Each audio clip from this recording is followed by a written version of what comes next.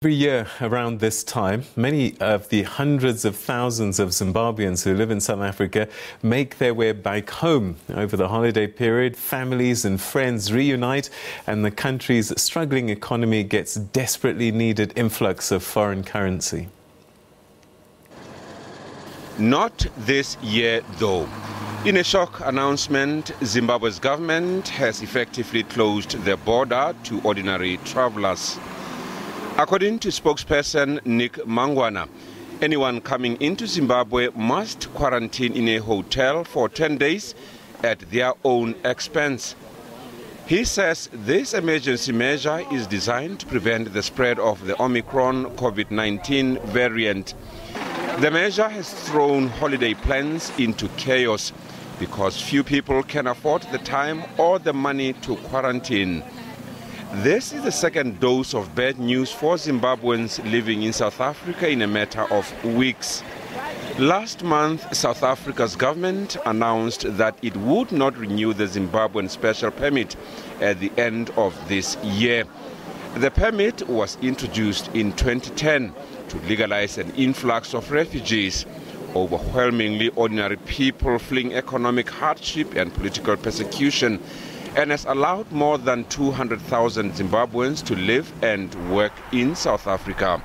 Now, in what has been widely criticized as a populist decision, South Africa says they must go back to where they come from and given them a grace period until the end of 2022 to do so. This decision is being challenged in court. Journalist Tapiwa Zivira is keeping a close eye on developments and now joins us via Zoom from Harare. Tapiwa, thanks very much indeed for joining us. Welcome to the program. Thanks. Uh, it's a pleasure to be part of the program. Now, it's a national um, uh, thing that uh, Zimbabweans do all over the world. Uh, they say kuyenda kumusha, going home. Um, and this year, that's not going to happen, it looks like. Yes, yes, certainly, because um, the restrictions that government has put in place um, are likely to deter many from uh, crossing the border because apart from the um, uh, restrictions that they will face when they have to quarantine, um, the fear of having to go back to South Africa um, and maybe not being allowed to go back in um, is mounting. And um, with the communications that we've had with some of the people that are in South Africa, they've hinted that they would rather stay there so that they will try to work on the reapplication process uh, whilst they are in South Africa. So, how has government rationalized this? I mean, you know, we're talking, we're having conversations about um, uh, apartheid, travel apartheid uh, that have been shared across the continent. It seems as if that this could be a ban without banning. Yeah, certainly it's, uh, in, it's an indirect ban. Uh, and I would like to believe that um, on the part of the government of Zimbabwe, um, the strict restrictions that they put in on uh, returning residents um, is more like uh, saying that we cannot manage um, you coming back here because we do not have enough facilities uh, to deal with um, the, the possibility of um, uh, cases of COVID 19. And um, I believe that it is also because that um, the government of Zimbabwe has not managed to deal with COVID 19, to spend um, resources on COVID 19. So they're just putting the burden back on the people. And then also on the side of um, the South African side, it is more like a double tragedy because these are also the Zimbabweans who are not sure of their continued stay, stay in South Africa, uh, considering that uh, the permit, permits will not be renewed um, uh, after the end of 2022. So, what are the direct consequences for Zimbabwe? I would imagine one of them is a heavy hit in terms of tourism and much badly needed foreign currency. Yes, certainly, because um, it is very well known that uh, in December and January there's um, a very uh, high um, influx of um, South African rand here. That is because returning Zimbabweans will not just come in, but also will come in with foreign currency. And uh, we also know that uh, many of the Zimbabweans that are in South Africa and other countries um, really look after uh, the Zimbabweans that are here. So the fact that they will not be able to travel is a very serious, it will have a serious consequence on the economic stability of Zimbabweans that depend on them back here in Zimbabwe. And in addition to that, uh, it will also um, affect um, some of the uh, logistics, I would like to believe, that Zimbabweans come back home to deal with uh, during uh, the December holidays. So I think it will have a lot of consequences, not just on the livelihood of Zimbabweans, but also on the tradition um, that has been long held, where we have Zimbabweans here in Zimbabwe uh, relying on Zimbabweans living mm. in South Africa. And I suppose it, you know it, it's it, it, the consequences are, are, quite far and wide uh, because there will be businesses that rely on this period of time, uh, and then they start to recover slowly until maybe about Easter. Now they've got this long gap between now and maybe the next holidays around Easter and Independence. Yes, certainly. Um, it will have a lot of uh, economic consequences, not only also for Zimbabwe, but also considering that in South Africa, there is also a huge wave of Zimbabweans shopping uh, so that they carry goods back home to mm. Zimbabwe. Mm. And without that, um, there won't be as much uh, in terms of uh, businesses in South Africa making uh, some money. We also have um, businesses that transport uh, people, that is buses. We also have even uh, businesses that transport goods. Because remember that South Africans returning to Zimbabwe do not only come with groceries, but even with some of the, um, uh, I would say, home equipment, home furniture, and other things. So this uh, will affect a, a lot of um, business and not just at a small scale, but I think at a very large scale. Let's talk about the actual facilities that they're supposed to quarantine in. Have they taken the similar stance as the United Kingdom, where they'll designate certain um, hotels that you must go to and pay for yourself? Or what does self quarantine mean? Um, for the uh, returning residents, I think from Botswana and, uh, and South Africa, and maybe other neighboring countries, they are required to self-quarantine, but uh, by self-quarantining, uh, we believe that it's government not being able to take responsibility for ensuring that uh, not just that uh, people uh, who are returning get uh, adequate health care, but it's more like leaving people on their own.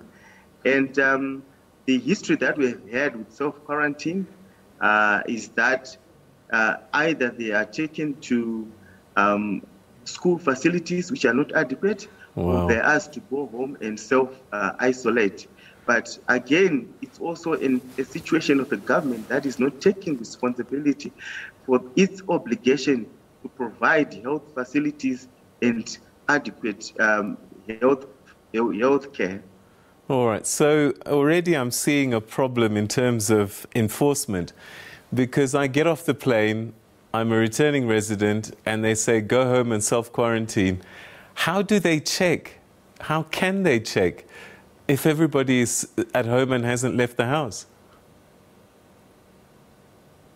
It's certainly the biggest problem. First of all, to check if uh, somebody is at home, but also to check if someone is not interacting with other people.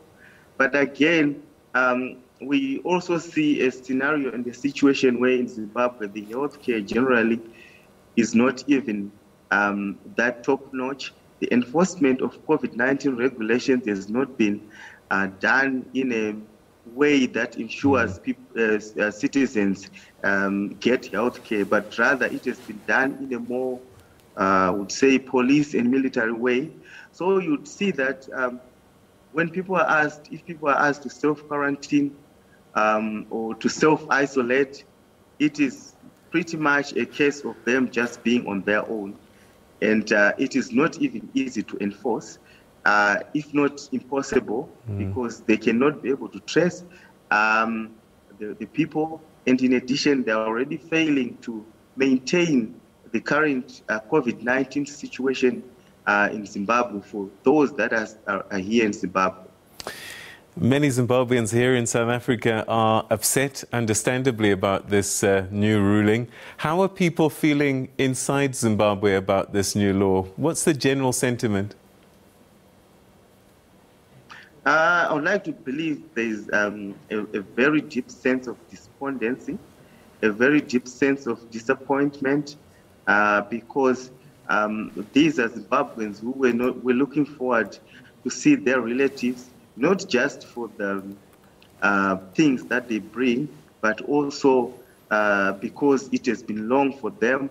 Mm. For, for some of them, it has been uh, even before the COVID 19, they've not been able to travel pre COVID from pre COVID 19. And to have them not able to travel or to have these kind of restrictions um, is a very big disappointment.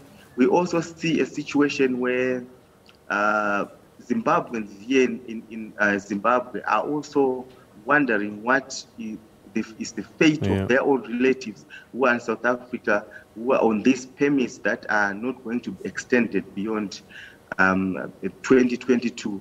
So you would see that this is a situation where people are thinking of their relatives who have been in South Africa for a decade and their future hangs yeah. in the balance. So it's really a, a situation that is not good. Uh, do you think the authorities are looking at the science, looking at other countries? Um, I mean, on one level, we're hearing that um, this Omicron perhaps is highly transmissible, but the symptoms that people are experiencing seem to be milder at this stage.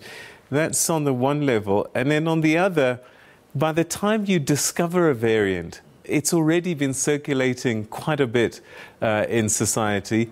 And with the movement between South Africa and Zimbabwe, I think even if they haven't actually tested a person. Sorry, I lost you there. Uh, okay. Uh, I was just saying, do you think that the authorities are looking at this uh, and looking at the science around uh, Omicron? Uh, are you still there? There we go. All right. Okay, let me try again.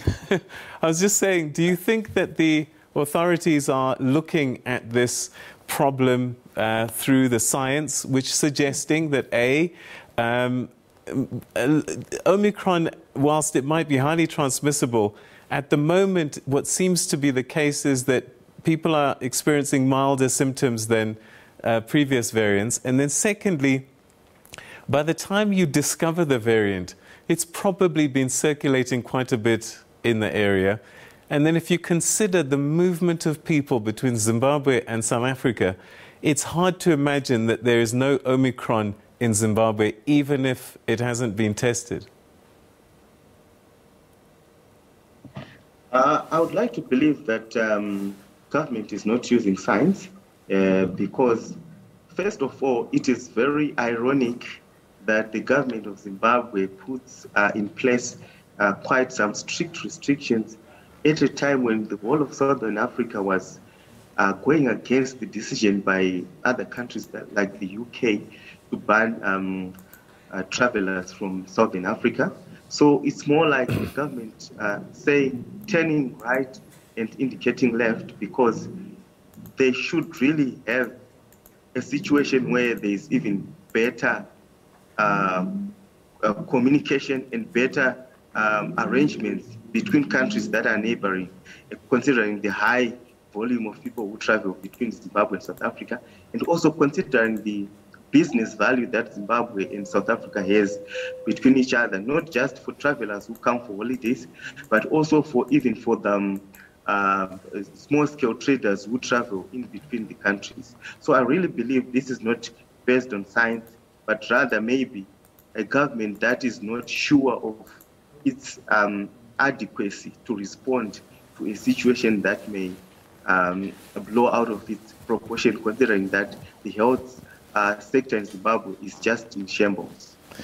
Tatenda, we're going to have to leave it. I mean, Tapiwa, we're going to have to leave it there. Um, thank you so much indeed for that update.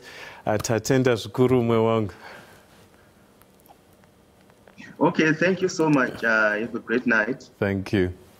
All right, so that's uh, Tapiwa Zivira, who is a journalist in uh, Zimbabwe, uh, talking about uh, the new requirement that returning residents uh, to Zimbabwe are going to have to quarantine for 14 days at their expense uh, if they want to go to Zim from an Omicron um, originating country.